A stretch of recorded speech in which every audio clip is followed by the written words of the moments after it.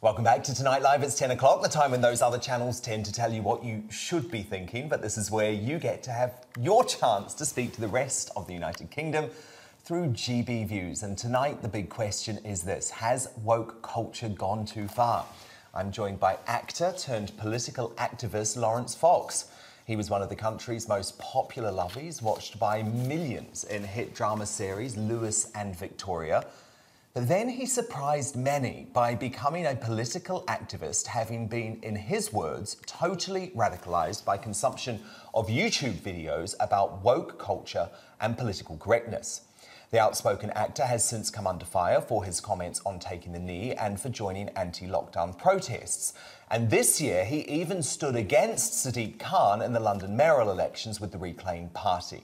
He joins us tonight to take on your questions. Laurence Fox, it's great to have you here.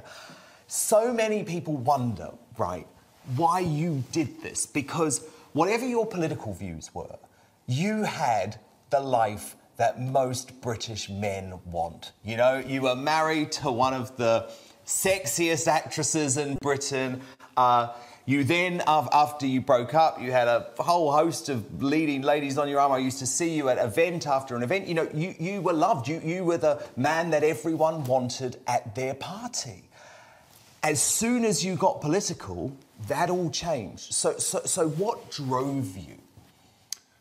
Uh, it's a good question. I, I, I, think I stayed the same. I think a lot of people say this, um, that they stayed the same and their the culture changed and moved away from them. So I would sit on set with Kevin Waitley for 10 years, and he's a lefty, and I'm possibly a righty, if you would divide society that way. But um, it just became more and more and more intolerant. You know, the, the sort of socially conservative way of looking at life became evil. And um, so, you know, showbiz kind of left me rather than the other way around. But yeah, you're right, I really missed the good times. because, I mean, you have faced what we now define as cancel culture. You know, you were dropped by your agent following that appearance on, on Question Time.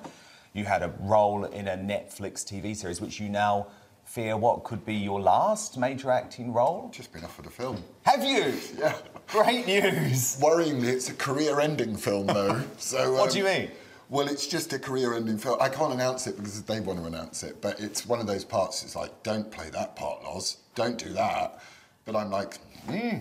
Okay, but, but, but so you've been to name my segment, uncancelled. Well, no, you're not. Um, you're not uncancelled. I've been totally cancelled by um, the whole of showbiz, haven't I? But showbiz is cancelling itself. Um, mm. The audiences of the Oscars and Golden Globes, they're, they're, just feeding themselves their own sort of pathetic narrative, and um, audiences don't care. As you can see in the viewing figures of, of these ceremonies and stuff, they're just applauding each other, and it's boring.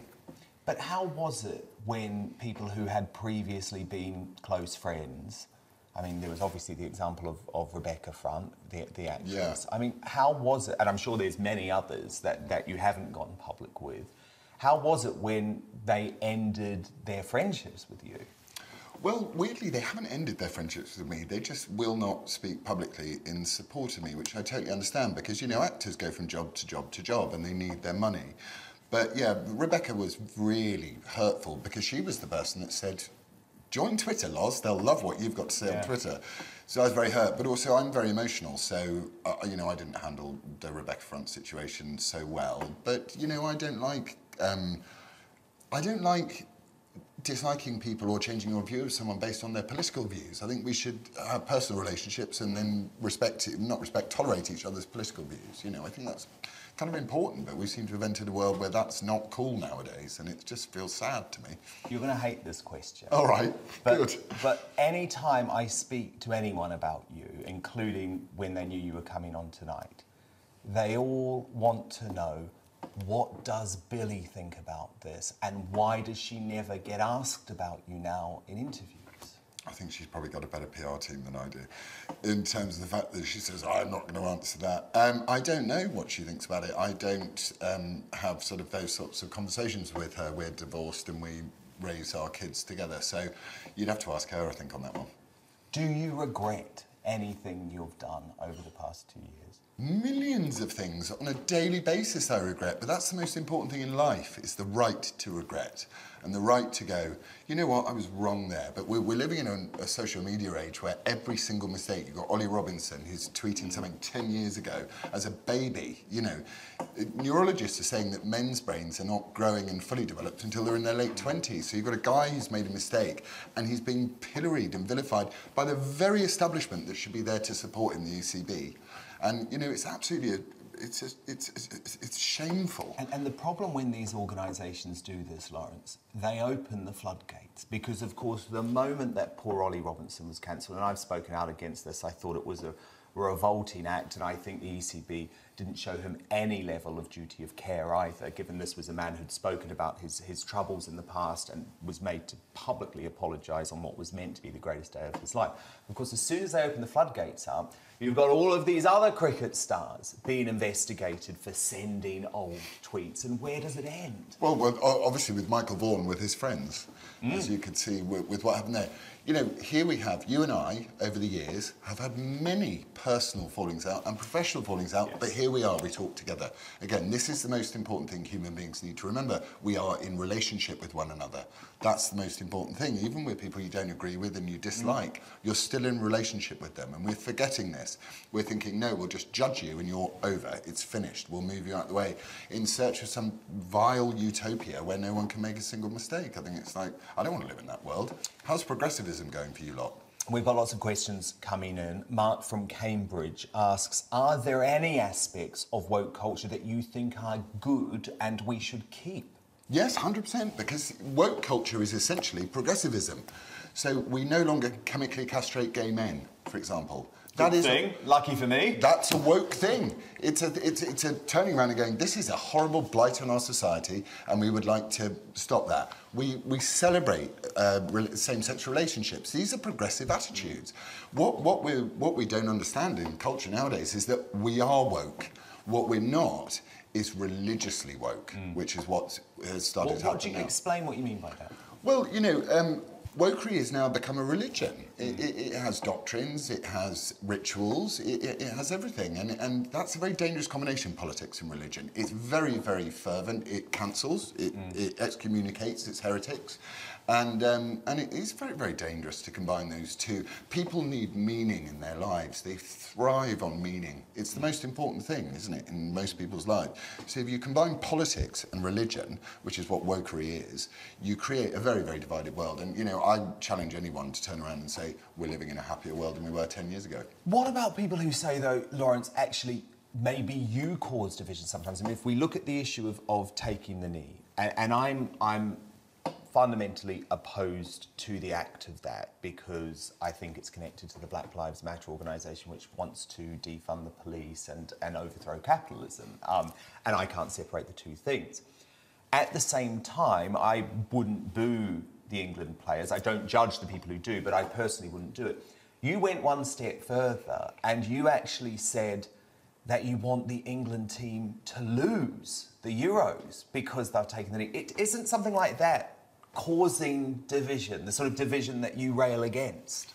Well, I don't think it's. I think what I do is I provoke conversation. Mm. That's what I want to do because I'm interested in the broadest possible debate. I think it's very, very difficult to support a football team that is, uh, especially a bunch of millionaire children, um, taking the knee to an organisation which seeks, you know, it's like if you're, if you're really, they, they said Millionaire woke babies protesting inequality on £200,000 a week. Your words, Laurence, about the England Yeah. Do you know what I mean, though? on one level. It's like, where does it... I, I used to sit on acting mm. sets. But how, how does it hurt you, though, what they're doing? How does it hurt me? Mm. Because I don't want politics in football. Okay. I sat in a uh, traffic jam in 1996, listening to England beat Holland 4-1, and people were getting out their cars, and they were of all colours, cultures, ages, and sizes, and sexual orientations cheering. Mm. Do you see all of that going on at the moment? But no, it would be good divided. for the psyche of the country, though, for England. What, to kneel to, to well a Marxist organisation? No, no, no, no, no. To do well at the Euros. Would it? I, I'm, I'm, I, what, four teams have kneeled so far? I'm like, I'll pick a team that hasn't kneeled. And also, if, we, if, if, it's about what you believe in, if these people are saying it's, it's borderless, you know, we're kneeling to, we're not kneeling to Black Lives Matter, aside from the fact that all you could do is stand up and link arms and go stand up to racism, which we all do. It's this idea that if you don't support these people, you're a racist. And that is the most divisive thing you can do to a culture. We all live in one country, and the best way we can live in this country is to go, it doesn't matter what skin colour we are, it doesn't matter what sexual orientation we are. We are one country. And that's what I think unites people. These people are dividing people, and they're woke babies. Uh, we've got a question here from Adam that we can take a look at. Hello. I am a great fan of your work and also a great fan of comedy. I am a man who loves to laugh. I am of the belief that either one can joke about everything or nothing at all because somebody will always be offended by a joke. What are your thoughts on this? Thank you. And of course, Jennifer Saunders today has said that in this uh, woke comedy culture, she would not be able to make absolutely fabulous. So, so there is a real issue here, isn't there? What, what do you reckon? Well, the, the only Achilles heel of wokery is comedy. So you notice it vanished, didn't it? And we were left with Nish Kumar which made me want to die a slow and painful death by myself. So comedy's coming back. You know, Jon Stewart did his riff on the uh, on the Wuhan lab uh, on uh, Colbert the other night. Bill Maher's brilliant. Bill Maher's getting very good. I mean, they are late to the game, but it's good. I think comedy is is, is Wokery's Achilles heel. So I agree. I think laughter. Ricky Gervais. Ricky Gervais is, is, is great. Superb at he's, fighting against this. He's a fantastic human. So, so do you do you think then, Laurence, you might actually be starting to win the battle? I mean, would would you say that maybe you have made a difference to this? this the, the, the, battle's already won. You know, you, you're not people bullying other people never win, do they? You know, it's not going to win. It's just how long it takes to beat them. And um, that's why they hate me so much, because I'm an ultimate traitor, because I'm a sort of lovey showbizy type. Well, I was. And, um, you know, I'm just a traitor to them. But it's like, no, you, we stand up in, in, in their faces, offer them reason and, and rational thought, and stop the enlightenment, which is what they're trying to do.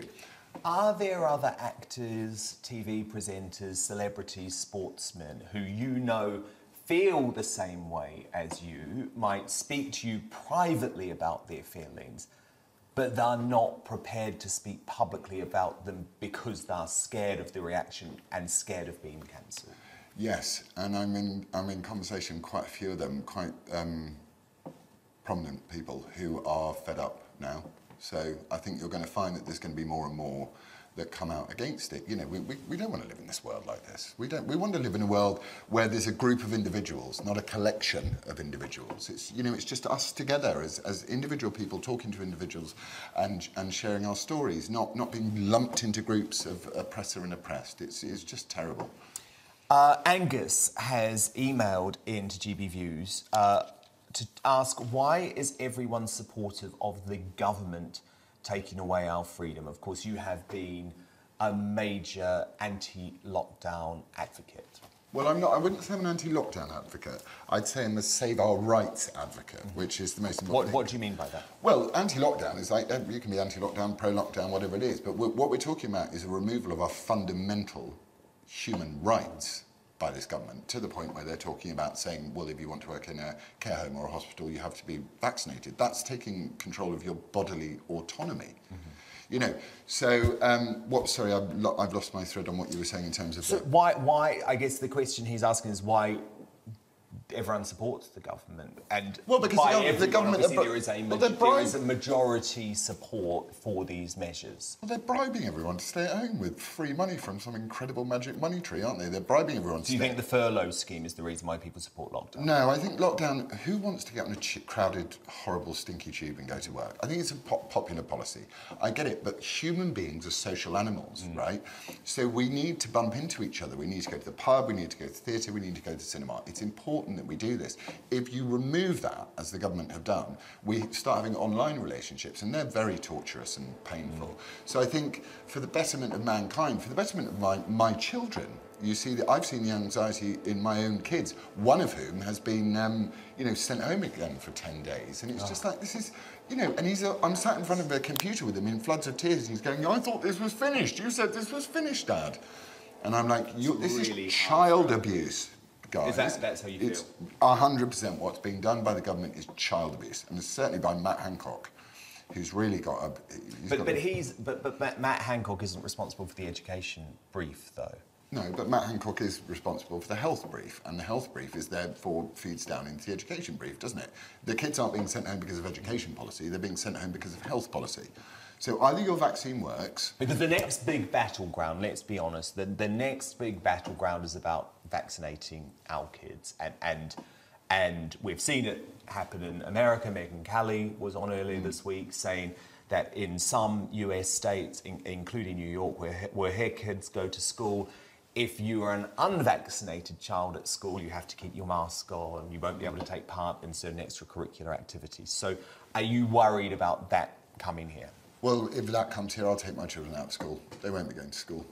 You know, and if we have to live in a two-tier society where I am on the wrong side of the apartheid, then so be it. It's an appalling thing to do to a population for a disease with this level of lethality. Once you have vaccinated the most vulnerable people, to continue this is just a crime. It's cruelty, actually, now. Now, anti lockdown protests, I have spoken out about the hypocrisy in the media over these because, of course, you see uh, the BLM or the XR protests given wall to wall coverage and anti lockdown protests, which had tens, some people would even say hundreds of thousands of people marching through London, although those figures were never confirmed because the officials and the media organisations decided not to confirm them, got short shrift. However, Laurence, that footage yesterday of Nick Watt, the Newsnight reporter, being hounded by anti lockdown protesters to the point where he felt his safety was at risk didn't do the cause any good, did it?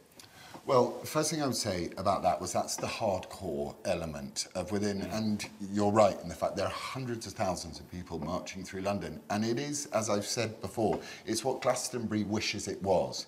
Genuinely freedom loving people marching peacefully and helping each other out to say, look, we need a return of our rights. And I would say to you, Dan, why don't GB News come? Because I'm I mm. organise these things with these people. Mm. I'm really close um, contact with people. Why don't GB News say we will come and we will cover the next protest and the next march and, and we'll and we will report this fully so that people can see what the level of support is because there's going to be more than a million people on the streets that day on the 26th. Yeah, and we did have a journalist there at the uh, Downing? Street protest this week.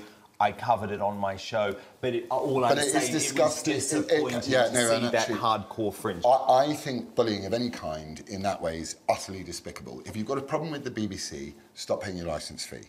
Don't go after a- an individual journalist. No human being in a civilised democracy, actually anywhere in the world, should be frightened by a bunch of, let's be honest, not sober people who are, who screaming obscenities in their face. That's not how you create change. But there will come a point, and the government are going to realise this, there will come a point where people stop marching and the disobedience starts to occur. And that is, unfortunately, is one of the little outliers of what's going to come their way unless they fully, finally, and permanently return our liberties come their new Freedom Day. Laurence Fox, thank you so much for being here tonight for Thanks the big question. We will speak soon.